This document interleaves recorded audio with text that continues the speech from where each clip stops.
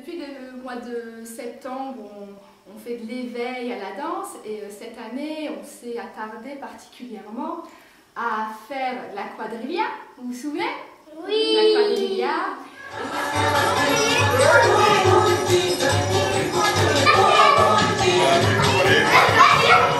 Et aussi apprendre les repères dans une salle de danse, savoir ce que c'est. Euh, et aussi le pas carré.